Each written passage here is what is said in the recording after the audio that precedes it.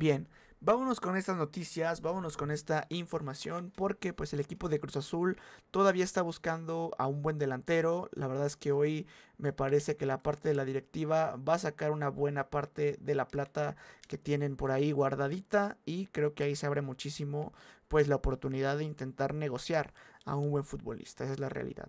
Así que hoy se habla muchísimo de esta situación, se habla demasiado la oportunidad que tiene el equipo de Cruz Azul de negociar por ahí a, un futbolista de, de calidad y la verdad es que han puesto bastante sobre la mesa a un futbolista como lo es el tema de Alexis Vega.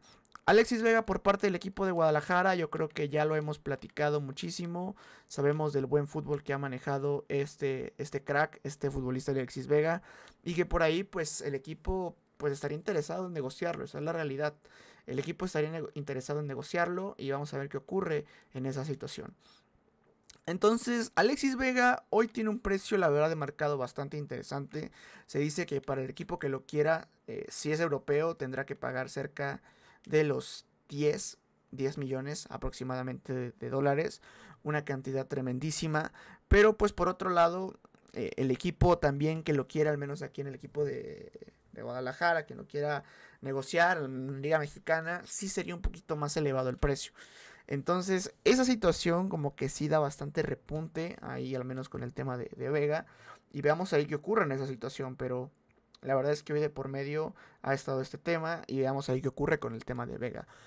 Alexis Vega, la verdad, ha sido un futbolista con calidades y cualidades importantes. Ha sido un futbolista que genera muy buen fútbol y que obviamente por ahí lo están colocando como una de las opciones para pues intentar hacer modificaciones, ¿no? Entonces, ahí está el tema de Vega, ahí está el tema de sus modificaciones y esperemos se pueda cerrar esa oportunidad en el club. Ya se vienen estas noticias, ya se vienen esas oportunidades, a ver qué ocurre en esa situación y obviamente desear lo mejor ahí para el equipo. Entonces, pensar en la salida de Vega, la verdad me parece que es bastante importante. Pensar muchísimo en las modificaciones que pueda tener el futbolista también es bastante relevante y veamos ahí cómo pues si puede llegar a haber alguna situación de por medio, ¿no? Pero ya lo estaremos platicando, ya estaremos haciendo las modificaciones que puedan existir y obviamente sea lo mejor para el equipo y su plantilla. Entonces ya está la información que tenemos, déjenos ustedes aquí abajito en el tema de los comentarios sobre si les gustaría ver algún otro tipo de, de oportunidades, de gestiones y a de ser lo mejor para el equipo. Entonces, esta es la situación que se viene para el club y pues ya estaremos viendo qué ocurre en esta parte. Así que muchísimas gracias, la verdad, hoy por estar aquí. Cruz Azul está en un punto que bueno, no se pierde por ahí un tema interesante con el tema del clásico, pero veremos ahí qué ocurre en esa pues situación.